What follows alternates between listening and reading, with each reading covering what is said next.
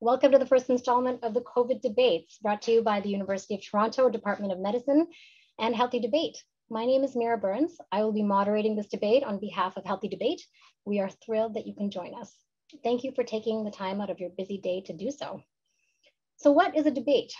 A debate is a structured discussion around a particular topic in which opposing arguments are put forward, discussed, and argued in a respectful and professional way. The resolution before us today is be it resolved that school closures should never be used as a tool to control the spread of COVID-19. Now, a resolution is not something that is inherently right or wrong, but a statement that can be defended or disputed, but most importantly, discussed. Our event today was inspired by the heated discussions stemming from these stressful times. People have always been passionate about health, and they've always been passionate about politics. And now in the COVID era, health and politics have come together in an unprecedented way leading to extreme polarizing perspectives and voices. Science is being used to take extreme positions, but those of us in the data sciences know that many gray areas exist in the interpretation of data. Healthy debate was approached by the Department of Medicine because of a noted breakdown in respectful and professional dialogue between members of our profession. The Department of Medicine knew we could do better. So together we bring you the COVID debates, a series of debates around relevant, controversial topics. The goal of today is to provide our audience with informed, evidence-based information in a respectful and professional way. We ask that you listen with an open mind to something that may initially go against the grain, but has the potential to bring you more depth in your understanding of this topic. We ask that you remember that data can be interpreted in many ways, and it is worth listening to how other people interpret it. Some housekeeping, you will notice that this is not an interactive session. However, we would love to hear your thoughts and comments at hashtag healthy debate at any point during the debate. Also, our speakers have volunteered their precious time and generously so. So any feedback to them on Twitter or otherwise on their content or messaging should be done respectfully and professionally and in a way that represents our profession.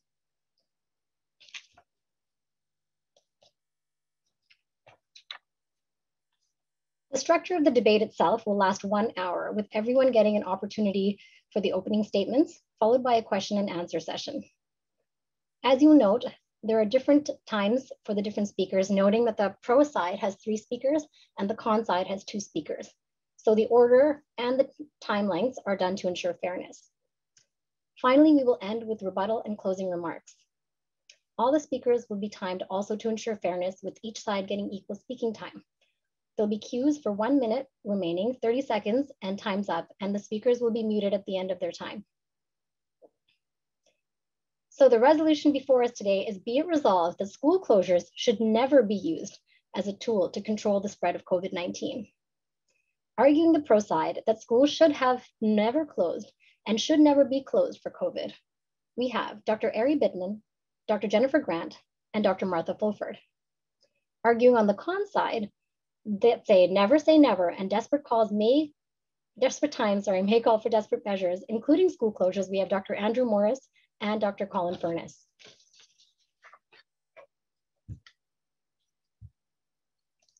So without further ado i would like to invite dr ari bitnun to deliver the opening remarks of the day. Dr bitnun is a professor in the department of pediatrics at the u of t and an infectious disease specialist at the hospital for sick children He's been doing this since before I knew what antibiotics were. He was the key author of the COVID-19 Guidance for School Reopening report that came out of Sick Kids. It's an honor to have you, Dr. Bitnun. Welcome. Thank you. Um, I'd like to thank the organizers for arranging this event. It is my strong opinion that schools have never been, should have never been closed, that they should be reopened immediately, and that come September, schools should be open to, uh, with limited, if any, restrictions, assuming good vaccine uptake. I'm going to discuss two aspects relevant to this topic. One is the direct risks of SARS-CoV to, ch to children, and second, some of the evidence pertaining to school safety. So with respect to the risk of SARS-CoV-2, if there is a silver lining to this terrible pandemic, it is the fact that children have not, been, have not gotten severe disease. One can only imagine what the, this would have looked like if children were more significantly affected. So as it is in reality, at least a third, if not 50% of younger children have no symptoms at all. And if they do have symptoms, they tend to be mild. It is only a small proportion of children that go on and develop severe disease, either in the form of acute COVID-19 or perhaps more commonly even the post-infectious multisystem inflammatory syndrome in children.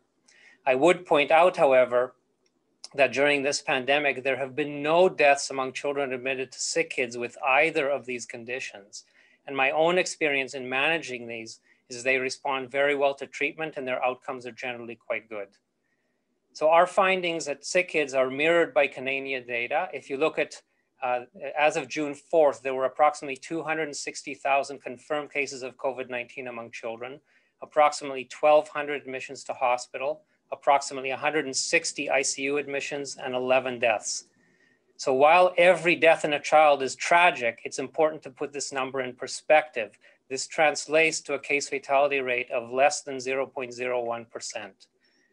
Okay, so I think an infection that is useful to compare COVID-19 to in children, it may not be relevant for adults, but for children it is, and that is influenza.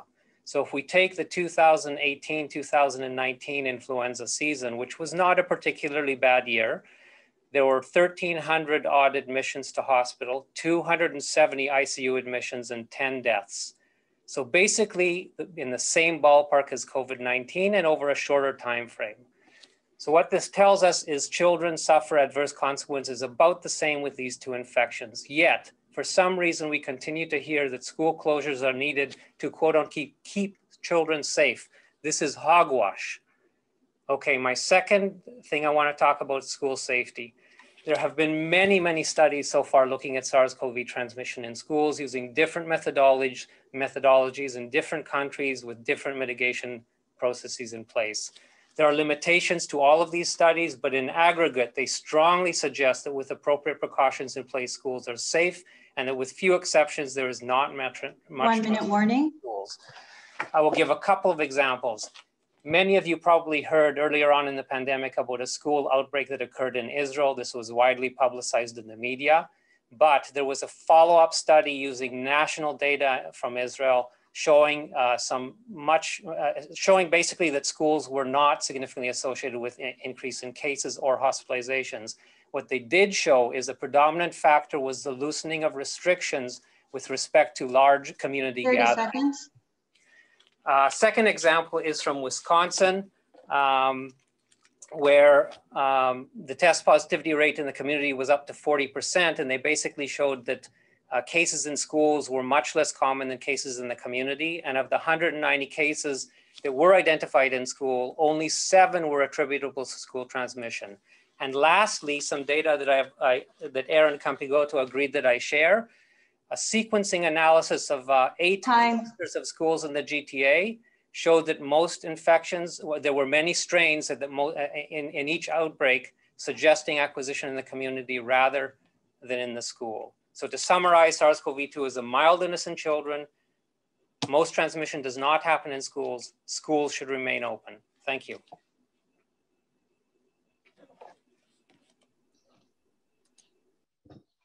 Thank you, Dr. Bitnun. It's very clear your expertise in this uh, when you when you tell us your stories.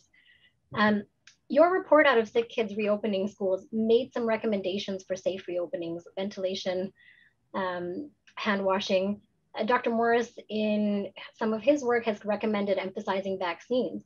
Unfortunately, our government has not taken up any of these recommendations.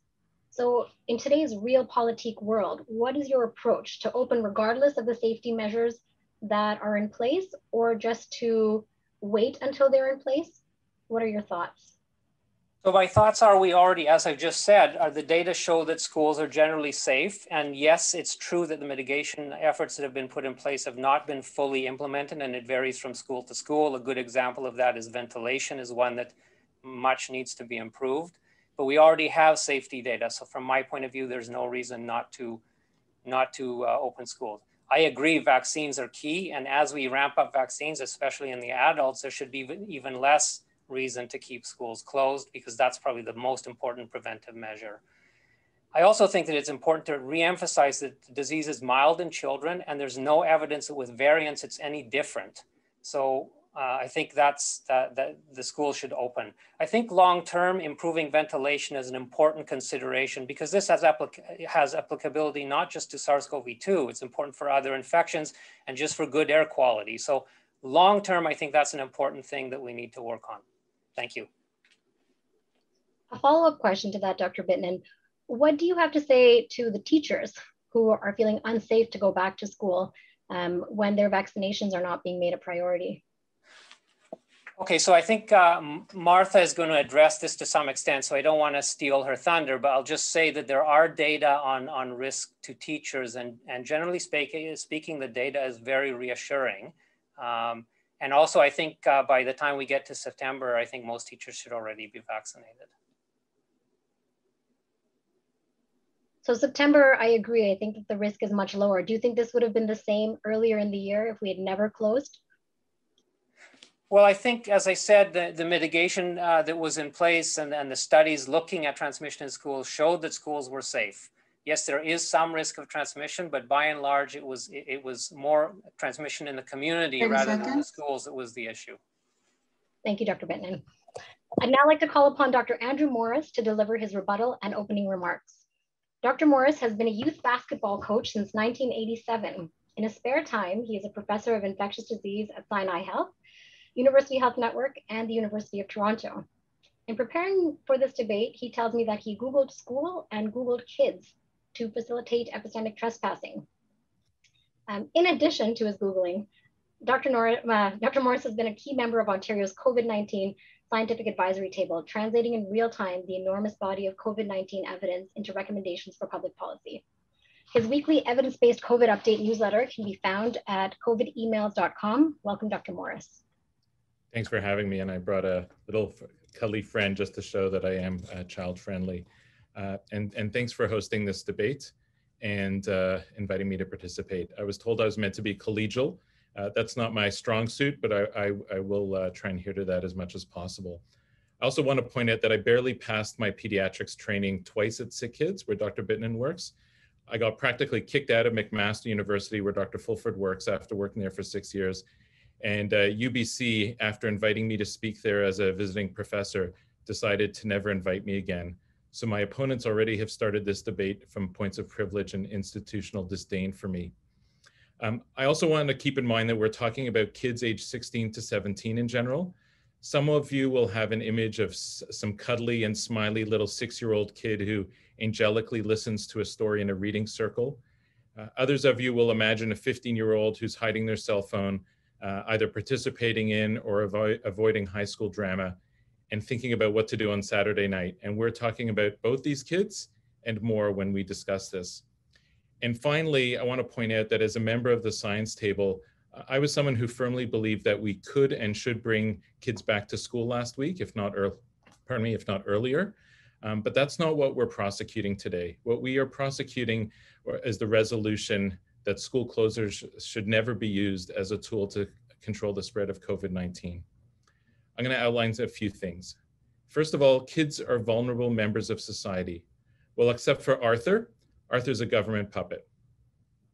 As such, we should do everything possible to treat kids as A, vulnerable, and B, members of society. Recognizing that they're vulnerable, it means that protecting them from infectious diseases should be one of our highest priorities. The short-term consequences of COVID appear relatively minimal, as Dr. Bitnun pointed out, but we do know that COVID is not always benign for kids. And when there's lots of COVID, lots of kids will get infected.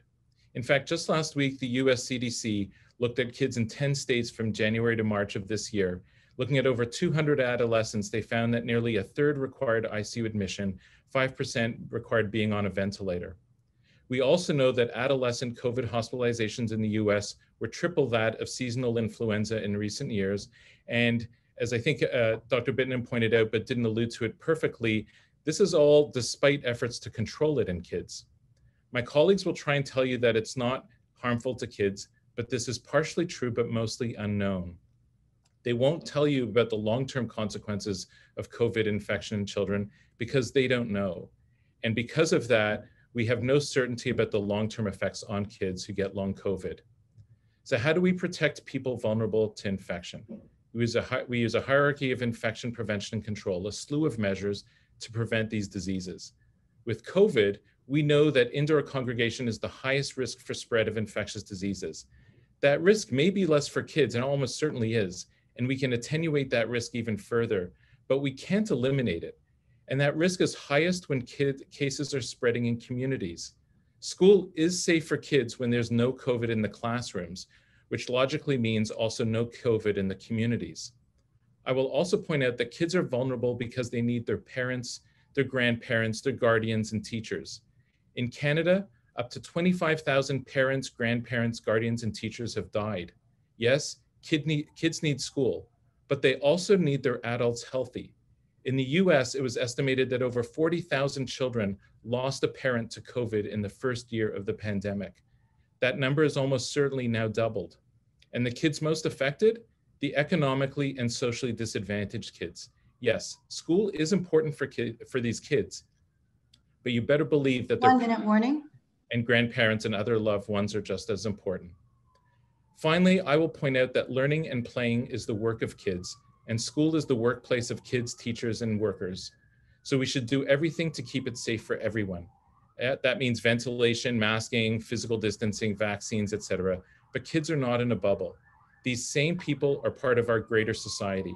Accordingly, when there are waves in society, reducing indoor congregation is a proved pillar of epidemic control. 30 seconds. My colleagues will almost certainly point out that kids in schools are not a driver of the pandemic and point to studies. Most of these are heavily biased and massively flawed. Apart from Dr. Tony Fauci himself just yesterday saying that kids transmit COVID, I will point out one basic fact. Of the 138 variants of concern, incidents identified and managed by Public Health England last week, half were in an educational set- setting. Half. Schools aren't involved in transmission? Nonsense. This debate is not about hypotheticals. It's about making decisions on the best information we have. Although kids often believe in magic, we should not think magically about kids. And entirely eliminating school closures from this or any future pandemic response is irresponsible. Thank you.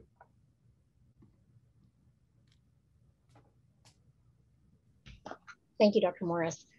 What I really appreciate about your perspective is that we're not polarizing for kids against kids, for schools against schools. And I think what's making this debate very uh, compelling is how nuanced everyone is and how we're staying away from the black and whites to really explore that middle ground and figure out what the best solution is for kids. So thank you for your nuanced perspective. Yeah, can you just point out that I'm also right? You didn't mention that. You know, I, uh, I, I refrain from mentioning that. I think you maybe thought that I would be swayed by your stuffed animal, but I, I see too so, many of those at homes and I built up an immunity.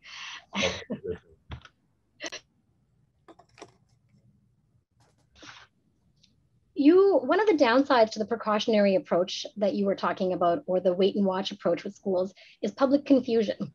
With every change in policy and with these changes happening in real time, there is an eroding of public trust. You know, people think, oh, well, we don't know what they're going to say, so that means they don't know what they're doing.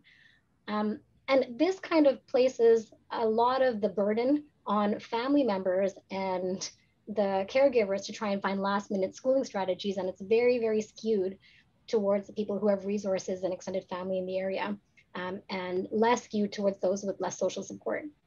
So, how would you consider addressing this and communicating with parents and mothers who are disproportionately impacted by school closures? And how can we maintain trust with the community when we're making decisions in real time and then going back on things we've said earlier? Th- thanks for the question.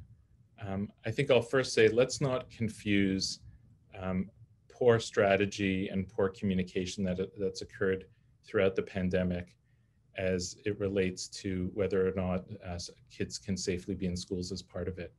Uh, I'm somebody who all along has felt that the best way to keep kids in school, and I think we should try everything possible to keep kids in school, is we focus our strategy on keeping cases in the community as low as possible. In fact, it, most times you, you can keep kids at school impossible uh, um, for as long as possible, if not throughout. But unfortunately, um, what we haven't done is really clearly prioritized what's important to keep open and what is, I think, more modifiable. If we were to do that, then we would have um, pretty clear communication. I think in, in Ontario for sure, one of our failures was articulating a strategy. We actually never had a strategy articulated. And if we had one, then we'd be able to communicate with parents much more clearly so that they, they would know what to expect over time, but they didn't know that. Absolutely, parents, especially moms, have been disproportionately affected uh, through this pandemic. And I think it is one of the what will be everlasting uh, tragedies of this whole pandemic and our response. Thank you, Dr. Morris. Another question, let's talk about acceptable risk profiles. Okay, we take risks and we have acceptable risk profiles in medicine all the time, procedures, medications, there's potential harms we tolerate in order to reap the benefits, anesthesia for surgeries, bleeding risk with medications, um, schools opening during influenza season that Dr. Bitnun talked about. Um, he also talked about transmission being rare. So let's say for argument's sake, because everyone is often quoting different studies, that the transmission is there, but it's a relatively low rate of transmission. Um, compared to the significant harms, economic, psychological, and social harms um, that, you know, as we talked about, preferentially target our most vulnerable, what is different about this risk profile compared to the risk profile we take in medicine every day? Uh, so thanks for that. I, I, think there's a few aspects to that that 30 seconds. It's important to note. One is that um, you can keep kids in, in school for quite a, a long period of time, but as we saw with our last wave, we were teetering on the precipice of total collapse of our healthcare system. And we were at a point where we didn't have many other choices other than to as much as possible uh, reduce transmission. Because I don't think kids are as important to transmission as some other workplaces, you can certainly uh, try and mitigate and delay um, you know, having kids uh, you know, be kept from school. But at a certain point, you, you just can't do that. And also, you know, in the pre-vaccine era, it was very different because we also had to protect teachers and other healthcare workers. It wasn't only the kids. And as somebody who took care of more than one teacher infected with COVID, I can tell you, you know, um, it, it did occur.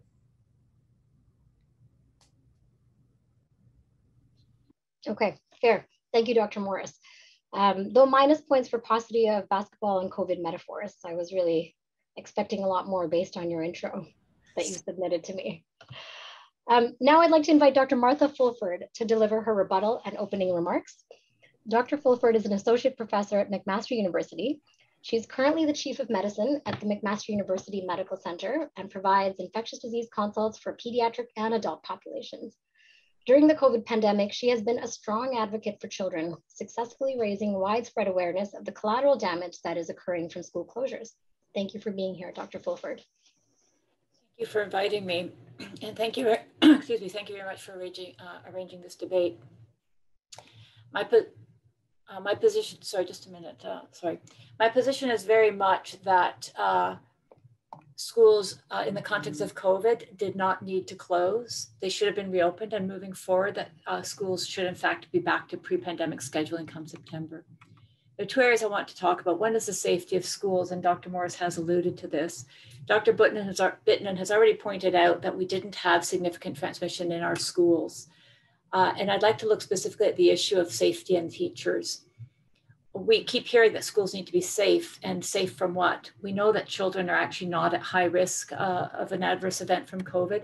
And I think we have now dealt with COVID for long enough to know that long term adverse effects are rare, uh, exceedingly rare. Uh, we know internationally, and even if we just want to look nationally from British Columbia, the schools can absolutely be kept open and uh, community transmission controlled. But specifically, let's look at the teachers. Are they at risk? We now have very good studies from Norway, from Sweden, from England, from Scotland, showing that teachers are at no higher risk than the baseline community risk. The study from Scotland by Fenton and al. specifically looked at over 18,000 teachers with a data set of over 800,000. And when they looked at the risk for teachers and compared them to similar working age adults, teachers and their household members actually were not at increased risk of hospitalization and interestingly, we're actually at lower risk for severe disease. If we look at the data from Canada, from Ontario, when we closed our schools in April, school associated positivity rates in staff was 1.6%. That is all. And that's at a time when our community, rate, uh, community rates were around 10%. And of course, with teachers now eligible for vaccination, this already low risk is going to be vastly reduced. But I think the important question is what's the contrast? What's the cost of school closures? And by some of us, this is now being referred to as a shadow pandemic. We have a myriad of medical harms, with the most prominent being the mental health issues. The recently published study from SickKids has shown that in children that were previously and otherwise entirely healthy, we are now seeing depression rates of 37.6%, anxiety 38%. Suicidality is increasing. For example, the Children's uh, Hospital of Colorado has recently declared a state of emergency due to the unprecedented growth in severe mental health, including suicidality, even in, in children as young as 10. And of course, this is the end stage of mental health problems. So we can't afford to wait that long. BMJ Pediatrics has recently just uh, published a literature review. It looked at 22 studies. And again, it demonstrates unequivocally that school closures are associated with worsening mental health and increasing unhealthy food consumption. And this is across many countries. We have certainly been seeing this in Ontario with dramatic increase in eating disorders in the range of 100% above base, baseline. And the Children's Hospital of Eastern Ontario, which has normally nine inpatient, One minute warning. has 25 now uh, admissions. And then we look at the risk of interrupted education. Education is one of the great equalizers of society, and lack of access disproportionately affects those who are most vulnerable and marginalized. And the longer we have school closures, the further behind they will be left. Online schooling has resulted in a myriad of children who are now lost to the system. We don't even know how many this is, but estimates are that in Ontario alone, we have in the range of 100,000 children who are no longer accounted for in the system. They have simply disappeared from schooling. Where are the models that are projecting the impact of these harms and what how many years of life lost because of this? So to summarize, I think schools have not been demonstrated to be unsafe either to children or to teachers. They have been kept open in many jurisdictions, including most of Canada, while also successfully controlling community transmission. But the harms of the school closures, they're myriad, they're far reaching, and they're going to last a generation. So, as adults, it is our obligation to do the least amount of harm to our children. And it is for this reason that schools must be left open.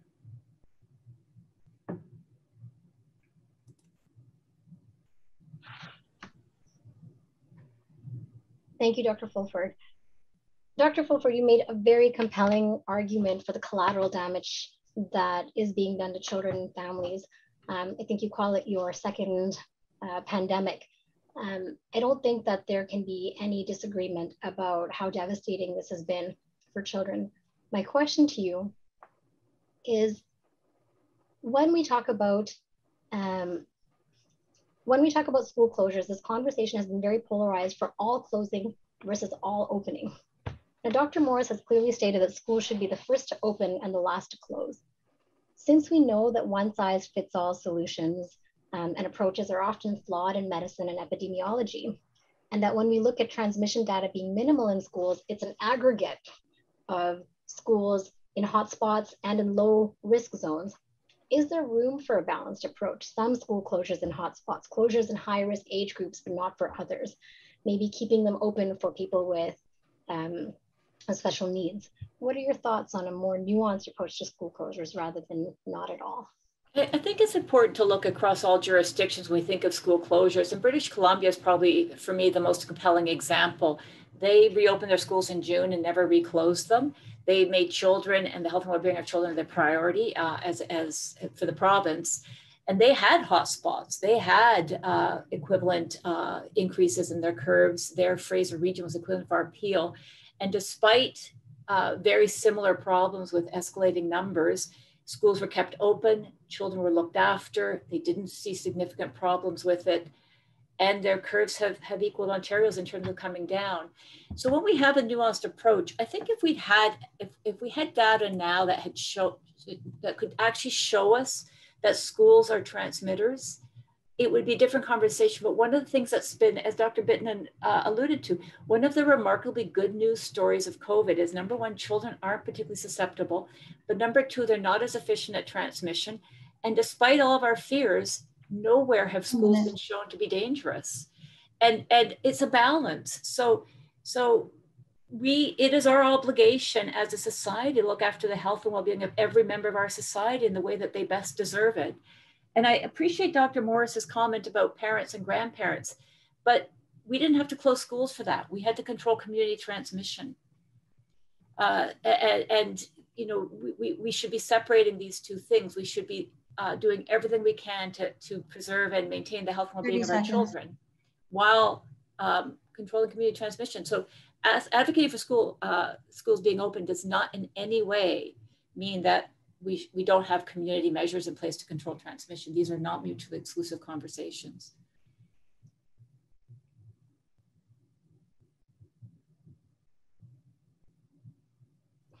Thank you, Dr. Fulford.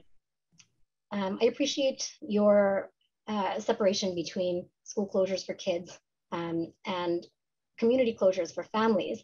Um, we don't have time for a follow-up question on that, but I think that maybe I'll leave that to the, the con team if they want to bring something up. Um, I'd now like to call upon Dr. Jennifer Grant to deliver her rebuttal and opening remarks.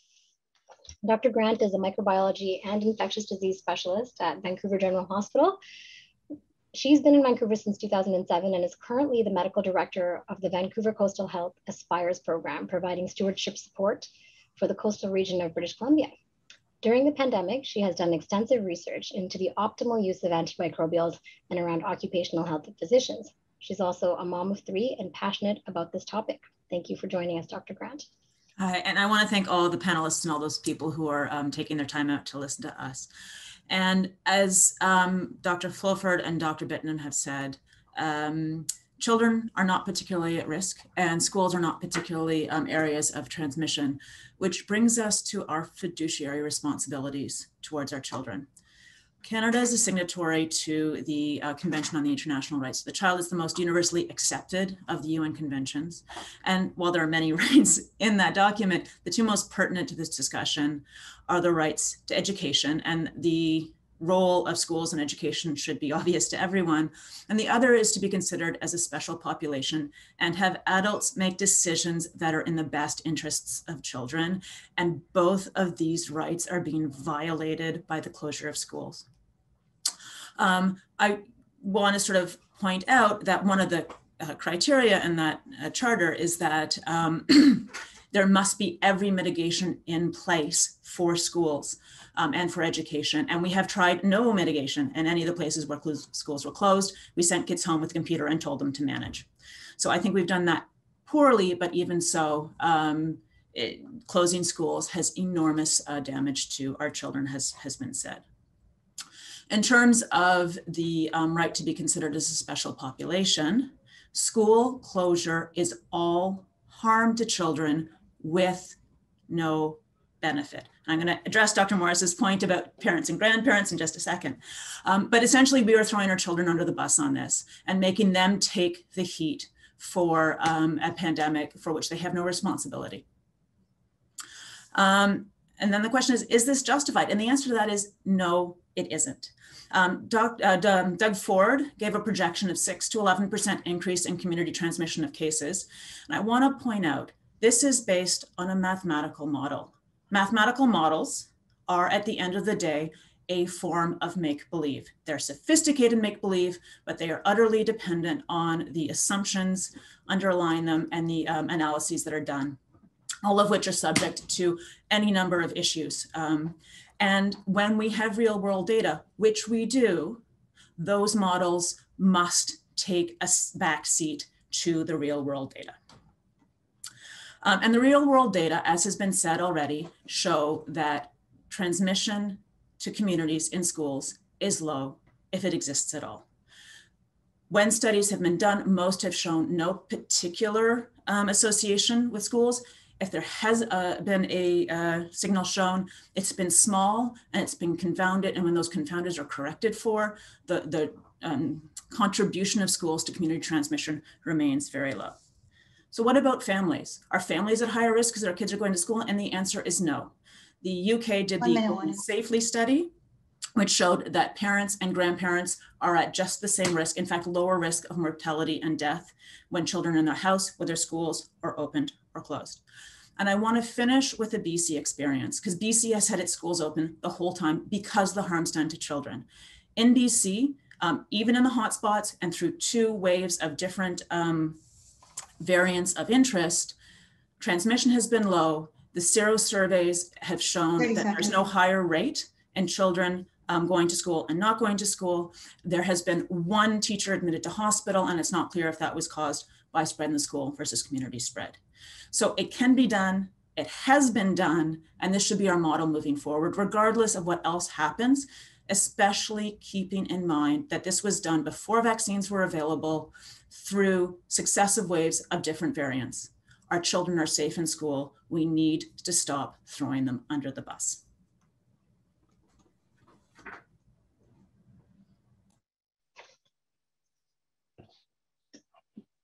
Thank you, Dr. Grant. As a passionate, uh, passionate speech, I can tell that this is not the first time you have talked about this or been triggered by it.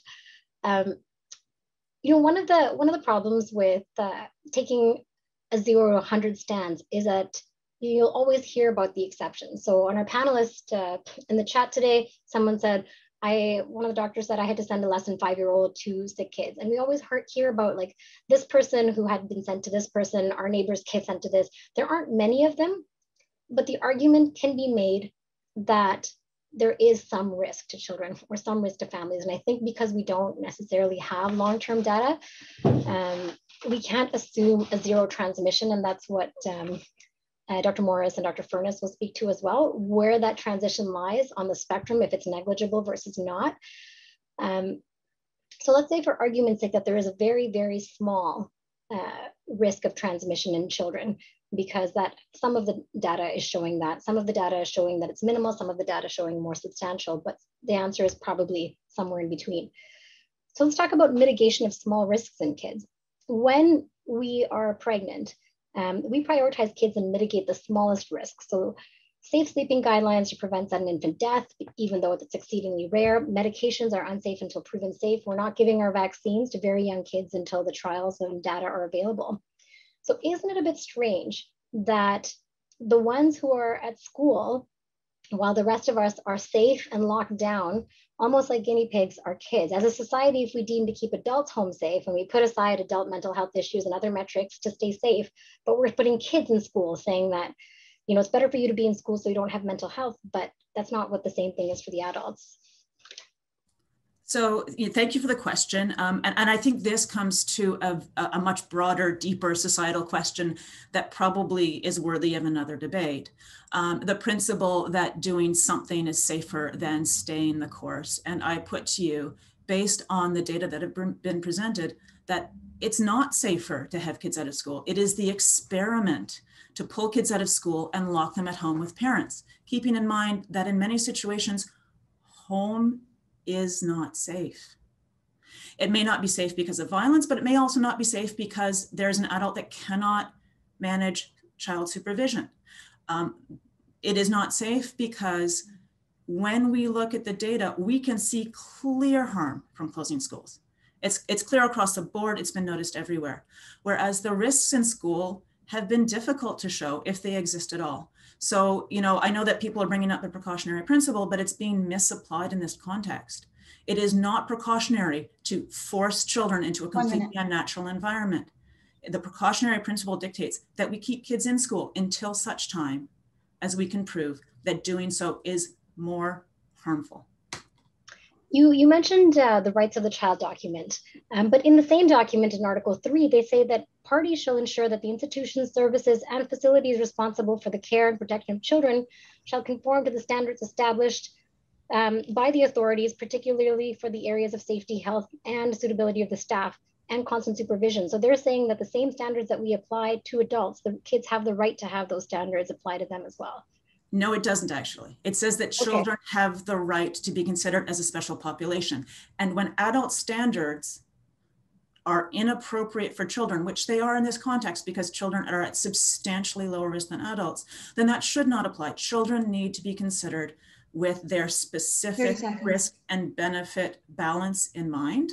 And so while I understand that people think that children should be treated as little adults, they shouldn't be. They need to be treated as children and as a special population.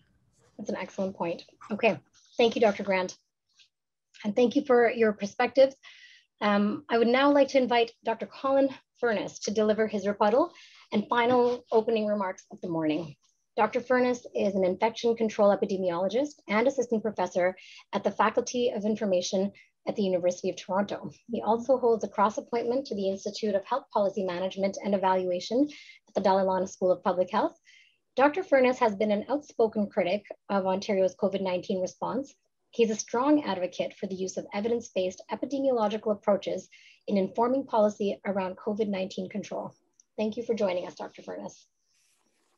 Thank you very much. And let me thank you uh, for the opportunity to come and speak to this august group.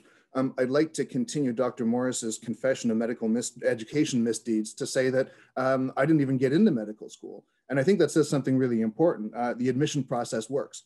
Uh, I like measurement a lot more than I like people. And so I think I ended up in exactly the right pigeonhole. And, and so I'm going to take a measurement based view of all of this. I think that's where, wherever we disagree, I, I think I can point to measurement as actually being a problem. And let's be clear, I think there's a lot of things we can agree upon in terms of the difficulties uh, that we're all facing with closed schools and, and the collateral damage, no question. But, but my belief is that we need public health in schools to control COVID. And it's when we lose control that maybe we then need to close, maybe. But let's start with what do we mean by control? And, and the big focus here, of course, is closure. Um, what do we know about closing schools? Well, you know, as, a, as an infection control person, I've gotten very inured, very used to the limitations of observational research. That's something that a lot of people struggle with um, in terms of what can you say and not say about causality. There's a lot we can't say. But there's something that we can say, and that is one thing we know from international studies, several of them, one recently published in Science, another in Nature. When you close schools, Google mobility goes down. When Google mobility goes down, community transmission goes down. And so I do disagree with Dr. Fulford's suggestion that we can separate schools from communities. Schools are a, a, not only they embedded in communities, they are communities in my estimation. In Ontario, we've got about two and a half million kids. And if you add all the bus drivers, teachers, support workers, you're, you're really talking about a, a distributed workplace of millions. This is community. So here's the thing. If we can drive COVID down by reducing mobility as measured by Google, and those associations are very clear, and schools accomplish that, it's not that every five year old is going to school with their cell phone. We're not measuring kids going to school. We're measuring all the other activity the teachers, the support workers, the bus drivers. And here's the kicker, and I, it pains me to say it because it, it sounds like I'm suggesting this is a great thing. It's not parents are stuck at home with their kids when their kids are at home. And actually, I, I, certainly acknowledge everything Dr. Grant had to say about the risks and the harms there. No, no question. I think she, she said that very well. But the fact of the matter is, the outcome of doing this dreadful thing leads to a drop in cases. It's what the UK did with their 117 variant, and it worked. And it's what a lot of places have done, and it worked. The fact that we do it for months on end has to do with bad COVID management. That's not the same thing. We could have been doing sharp, short closures. So let's not conflate closing schools and doing it really badly so they stay closed with the need to occasionally, when we lose control, use this as an effective means. So I'm all ears. If there's another way that we can achieve a gigantic drop in Google mobility, if there's another way, I'm absolutely all ears. I just don't see it. That's the problem is I just, unfortunately, I just don't see that there's three, three different scenarios that, that, that have a lot in common. Restaurants, air travel, and schools. Not three things you would typically see stitched together. They've all got something really important in common, which is the debate tends to be emotional and there's a lack of evidence. No one's ever suggested testing servers. We know that airlines are hiding incident rates among air flight crews. And we have huge problems in Ontario and yes, also in BC in how data are gained. So I don't doubt the statistics that have been reported by my colleagues, but I doubt their veracity. I doubt their validity. And I'll give you one really good example. In BC for sure, and I believe in Ontario as well, if a kid is known to have gotten sick on a school bus, and this happened in my son's school, that's not counted as in school transmission. That strikes me as being somewhat disingenuous. I think if we took a holistic view of transmission and we said, yeah, you know what, getting on a school bus is part of going to school, it's part of being at school, that's a problem. And if we ignore it, we don't do anything about it. And that's a, that's a, I think a, a huge, huge problem I have. In other words, when we insist that schools are safe, we prevent remediation and measurement. That narrative, because it's politicians who are deciding what measurement happens and how. In Ontario in February, we said we were going to test 2% of students every week. Well, we didn't. We tested a tiny, tiny fraction of that. With the positivity that was reported back then in February, uh, I did a calculation that said we may have 15,000 undiagnosed cases of COVID. And yes, in schools. And yes, it's asymptomatic. And yes, kids don't get very sick. But remember, in seconds. Northern Italy, when grandparents started dying in droves, they weren't the ones going to the parties. The kids, the teenagers, they felt fine. And this was what was so very baffling. That, that the fact of the matter is kids and older generations do get together. Some places worse than others. And if you look at a country like Sweden, where everyone lives alone, where you don't have multi-generational living, uh, you don't have as big a problem. Northern Italy, New York City, some of these areas, you had really huge problems. So I really worry about our citing statistics and citing patterns from other places and saying that, and saying that it's fine. Um, so the schools are safe narrative is, is the biggest obstacle we have. We haven't tested, we haven't done proper asymptomatic testing. We don't understand child transmission. Sarah Rasmussen's work in the UK suggests that child prevalence actually is independent of adult prevalence. Fascinating work. Too bad we haven't done any measurement to actually test that out and try to understand it. There's so many things about school built form we could have worked out, we could have figured out in order to make schools safe, because I believe that some schools are inherently more risky than others.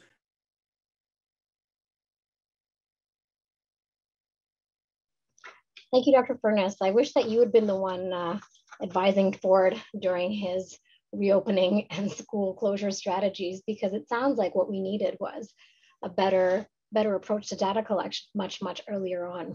So I really, that really resonates, I think, with a lot of our, our listeners. Um, both yourself and Dr. Morris spoke about the precautionary principle, correct? In which, which is the assumption of avoiding harm when conclusive evidence is not yet available. By harm, until now, you've been talking about COVID-related illness and death. But in using this principle, you have not acknowledged the collateral harm what Dr. Fulford spoke of, and Dr. Grant and Dr. Bitnun, which we now have evidence for. So the value judgment of physical health above mental health and other factors is deemed inherent in this approach. Why does this type of harm trumps the physical harm that we're talking about? Sorry, you're still muted, Dr. Furness. I'll repeat the question. Why does I got it. I got it. Sorry, I forgot. I forgot to unmute myself. That's probably the hardest question you could ask me. And I think um, I've got an escape answer. And the escape answer is if you shut schools long enough, these the harm that accrues to children is going to outstrip it, no question. We're assuming like somehow tacitly in this debate that when we close schools, we do it for many, many months. No, no, that's not the way this should have gone at all. I would never say that we should be closing schools for a very, very long period of time. Merely that sometimes when we lose control, we have to to regain control. Um, there's other other jurisdictions have closed and opened and closed and opened as they needed to. Um, this is the Atlantic province's zero COVID model. You close when you need to and you open when you can. So I think we, we wouldn't be having conversations about harm to children if schools were closed for a week or two weeks or even three weeks. It's the many, many months. And I am not going to deny, I'm a parent and I've got a zoo going on here in the background. I'm not going to deny the harm to kids, but I don't see it after a week or two weeks or three weeks. I see it after months.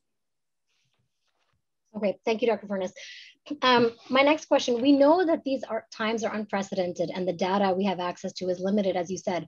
Multiple panelists have spoken about the BC experience of schools staying open year round. How do you acknowledge the science that they use to make this decision and use their experience moving forward? We have different data sets. In retrospect, do we now have a clear understanding about how well these models have predicted subsequent real world outcomes?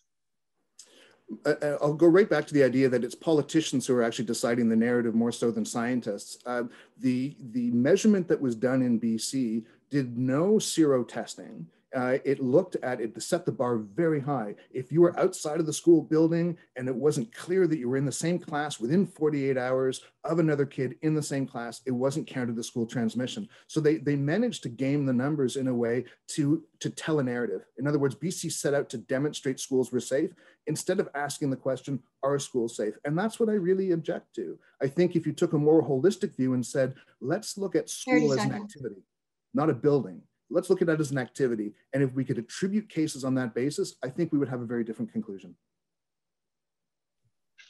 Noted. Thank you, Dr. Furness.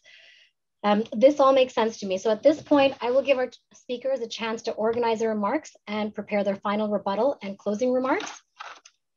Uh, just for those of you who are joining us a little bit late, you're watching the COVID debate brought to you by the Department of Medicine at the University of Toronto and Healthy Debate. The resolution before us today is be it resolved that school closures should never be used as a tool to control the spread of COVID-19. Arguing on the pro side that schools should not have been and should never be closed for COVID, we have Dr. Ari Bitnun, Dr. Jennifer Grant, and Dr. Martha Fulford. Arguing on the con side that never say never and desperate call, times call for desperate measures, including school closures, we have Dr. Andrew Morris and Dr. Colin Furness. Our speakers have just delivered their strong opening remarks. If you have any thoughts you'd like to share, please send them our way at hashtag healthy debate. We are now entering the third and final portion of the debate. Please note that the duration of remarks have been modified to ensure equal podium time for both sides.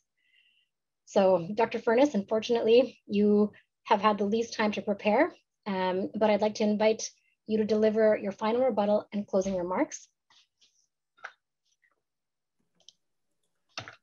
Okay. Yeah. Well, since I couldn't finish my my other remarks, I can just keep on going. So I don't think it's so so bad for me.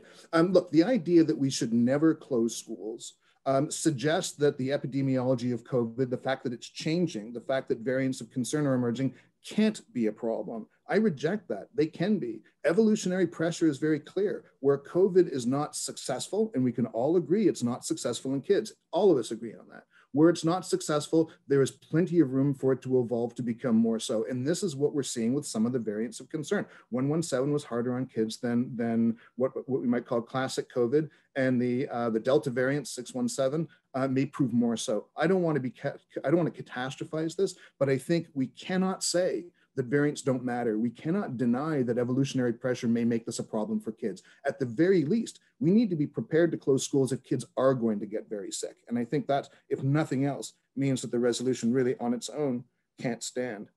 Um, that one. So mostly, I think um, I wanted to talk about, or I'd already talked about, uh, the BC experience with schools and the way that narrative came out. In BC and Ontario, we have teachers who are terrified.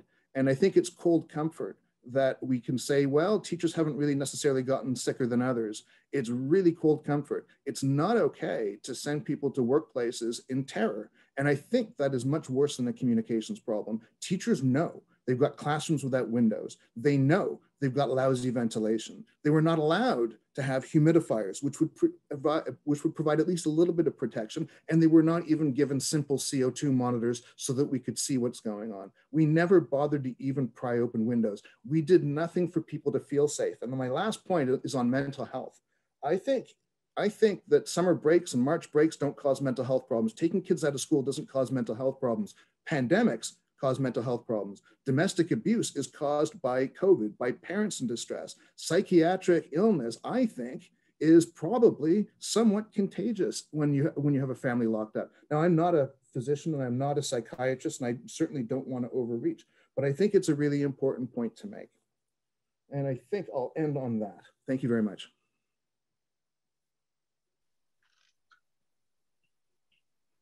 Thank you, Dr. Fulner. Furness, your point about increasing supports for parents and other caregivers during the pandemic, rather than just accepting that that's a side effect was very well taken. Dr. Grant, I'd now like you to like to invite you to deliver your final rebuttal and closing remarks. Yes, th thank you very much. And um, thank you um, everyone again for, for participating. I think the first point I want to make is addressing a fundamental error that's being made and saying that closing schools changes community spread. And the fundamental question to ask in this is if children aren't in school, where are they? They aren't many cases sitting at home alone with a single parent. Okay, they're with their grandparents in multi generational homes. So I want to emphasize that BC in, had schools open, including in Surrey, which has multiple multi generational homes. And it was not children that was bringing it home to multi-generational homes, it was essential workers bringing the people living alone in their single family home their um, Amazon packages and their meat. So closing schools only stops spread if children cease to exist outside of school because they're still out in the community, as it's been said, and they're still just as at risk, and probably more so because there isn't a trained, responsible adult who's addressing that. Okay, I also want to address the issue about mobility data. People initially thought the mobility data was the most important aspect of controlling disease. This is not true. It has been countered in the Lancet by both Bader and Galato. Um, there was an initial correlation that has broken down, and I can tell you why. I can drive 100 kilometers from here and be on a country road with no one around me. My biggest risk is bears and cougars. I can walk three blocks down my street and spread COVID. It's not mobility that's important, it's the interactions. And we can address those by arranging for kids to take school buses, not letting parents out of their cars. Um, there's many other mitigation methods that we haven't even tried that have nothing to do with school. We have what if our kids to death. What if kids are at risk? Well, they're not. What if teachers are at risk? They haven't shown to be. What if kids spread disease? They don't. Um, every cautious school closure has caused harm to children. We need to stop. Am I at my time? No, you have a little more time.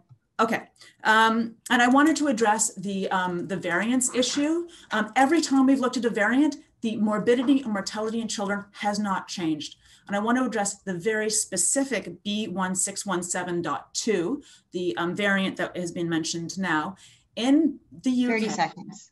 It has been shown from the B117, which is a mortality of 2% in the British population, the mortality is 0.2% for this um, organism. Now, that is with vaccines, but that's the point. We have vaccines. No, none of the variants to date have been shown to be more dangerous and not covered by vaccine. So we cannot, again, go through the what if, what if we close. There has to be demonstrated harm benefit before we go to that, and it has to be clearly demonstrated harm Fine. to children. Thank you, Dr. Grant. I'd now like to invite Dr. Martha Fulford to deliver her three-minute final rebuttal and closing statements. Thank you. I mean, I'm going to reiterate uh, what uh, both Drs. Grant and Bitnun have said, that it is time to start using real life data when we look at what's going on with schools and our children. Uh, and we now have many jurisdictions, including, as has been very uh, clearly pointed out, British Columbia, that school closures are not in fact necessary in order to control community transmission. But again, I would emphasize that we cannot, we simply cannot only consider COVID any intervention that we offer must be taken into the account with the harms, uh, associated harms.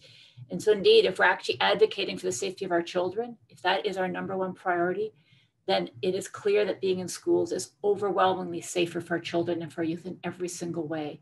It is important for the marginalized, is important for the vulnerable, is important for the children who have no access to outdoors, it's important for the children who are living in small apartments there is a very strong and clear association between social isolation and mental health deterioration. And this association points to the importance of in-person school, of recreation, of social activities, and of milestone events. We want to talk a little bit about uh, some of the testing. I don't know how much we want to insist on, on this witch hunt of asymptomatic testing, but we now have both asymptomatic viral testing and seroprevalence studies that have addressed this potential we have studies from Italy, from Norway, from Australia, and most recently British Columbia that has shown that widespread COVID transmission is actually very rare in school setting. And in Ontario, as of April 30th, we had done 56,183 asymptomatic tests in our schools, and we had identified only 411 for a 0.7% positivity rate. At what point will we believe the data that we are not seeing secret silent spread in our schools? And again, we can make no decisions about COVID without also looking at, at One minute. Collateral damage. And so for me, when we did the school closures, they were actually done to protect adults. They were not done to protect children. For children and for youth, for their safety, for their future, we simply can't keep doing this. Children are not shields for adults. Going forward, I would argue that we have recognized that schools are important. We must keep them open. And because of the harm we've done, we actually we actually now need substantial sustained investment in our in our education system to try to mitigate some of these harms. And going forward, I don't think we can ever, ever again forget that children, their education, that is our future. And when we start to talk about harm mitigation, We need to control COVID, but we must also minimize the harm to our children because that is our future. I'm going to end with that. Thank you, Dr. Fulford. That was a powerful ending. Um, at this point, I'd just like to draw everyone's attention to the fact that we're at our time. I sincerely apologize about going over, as we say in journalism, in a shocking turn of events. Um, the debate has run over time. It's a little bit par for the course, but we'll do our best to finish up in the next five or 10 minutes. Um, I'd now like to invite Dr. Andrew Morris um, to deliver the closing rebuttal and final remarks for the con side. Thank you, Dr. Morris. Thank you. Um, there's no question that the pandemic sucks. Uh, everyone suffered, including our children. But it's also fantastical thinking to believe that we can just close our eyes to an extremely important workplace in our society, schools, and believe that we can ignore it to the exclusion of everywhere else. I'm really appreciative of everyone, um, including our, my co-panelists who advocate for children. We all should. In fact, we should advocate for all vulnerable members of our society. But advocacy isn't pandemic control. And we're not really talking about advocacy here. We're talking about pandemic control. Just like I want you to pay attention to the somewhat equivocal data around what we know to some of the har harm to kids being um, uh, that they experience with short-term school closures compared to the fairly unequivocal data demonstrating uh, the harms to um, really all members of society with poor COVID control and that's the illness, hospitalization, and loss of their parents and people in their communities. The decision of whether we keep a workplace open or not during a pandemic or an infectious disease outbreak is made by balancing the risks and benefits to those inside and outside that workplace, how we can mitigate those risks, and the value we place on those workplaces. We can't totally close hospitals, but we do shut them down to some degree with outbreaks, just like we do long-term care facilities, shelters, group homes, and pretty well every other workplace. We do everything we can when there's an outbreak or we need to for infectious disease control. And whether or not you do that to schools depends on how you have done with all other pandemic control. But it's purely fantastical thinking to believe that schools as an indoor congregate setting is somehow magically different than any other indoor congregate workplace. And even though I'm an advocate for schools and kids, because I do believe in the net, they are absolutely important and beneficial and essential. Please also don't portray them totally as idyllic. Many kids do thrive at school, but some kids don't. There are potential harms that kids, some kids experience, but by and large, schools are beneficial. But if you want to advocate for kids and the health of every, them and everyone around them, the most you can do is advocate for optimal pandemic control. Kids will benefit the most when the pandemic is optimally controlled. They will have more time in school and they will have healthier people around them. So you advocate rather than never shutting down schools, advocate for the masking and ventilation and appropriate testing in communities with high transmission rates. You advocate for the parents and guardians and teachers and everyone else getting vaccinated to keep the schools as safe as possible. Thankfully, in the immediate future, most will rely on maximizing vaccination. That includes kids. But it might all, not always be thus. We may be faced with a situation in the very near future where there's going to be a fairly vaccine resistant and perhaps um, virulent um, variant. And it's more plausible, more than plausible, it's possible. And the decision on whether schools should stay open should be primarily made on our ability to control the pandemic with or without schools. Yes, kids in schools matter, but so does a disease that has infected 1.4 million Canadians. It's hospitalized over 75,000 of us, including 1,300 kids, and it's killed 26,000 people. Much of those deaths are excess deaths, they're not expected deaths. Schools should be the first workplace to open, and they should absolutely be the last one to close during a pandemic. They shouldn't be closed for prolonged periods of time, and I'm really saddened that they have. But, but for Arthur's sake, sweet little Arthur, let's make these decisions based on data and basic principles of pandemic management. And let's not draw a line in the sand that ignores the reality of infectious diseases transmission. I'll stop. Thank you, Dr. Morris, for your final remarks. Um, our final affirmative speaker today is Dr. Dr. Ari Bitnun. He'll be providing the last rebuttal and closing remarks of the pro sides and the final speech of the day. Thank you, Dr. Bitnun. Okay, thank you. Um, so I think we've pretty much presented good data to show that SARS-CoV-2 generally causes mild disease. And uh, I think so far this holds true for the variants as well. Schools are generally safe, and it's not that no transmission happens in school, but by and large it is limited and much less than what happens in the community. I wanna reiterate the precautionary principle that it depends on your perspective. So from the perspective of child well-being, the precautionary principle would be that children should be in school, not out of school. Now, I would like to be a little more optimistic than Andrew. Um, I think we need to recognize that SARS-CoV-2 is an endemic virus now. We are going to need to learn to live with it. It isn't going to disappear. And I am hopeful that vaccines actually will do a good job of controlling this, including variants. We've already shown that we can develop vaccines very rapidly, and I think we will continue to be able to do so for variants. So we need good surveillance in place so that we can detect these and address them in a timely manner. But the reality is we're gonna need to learn to live with this virus. So children should go back to school. We should have appropriate surveillance in place to detect these viruses so we can update vaccines and immunize. Lastly, I'm gonna be brief um, because everyone has said, well, one more thing on, on, I think important to mention is equity. I think the people that suffered the most here are the people that are the most vulnerable and that is not just children. And I've noticed in my clinic, for example, I follow some uh, children depending on their underlying conditions for many years. And I've noticed over the last year a significant increase in two things.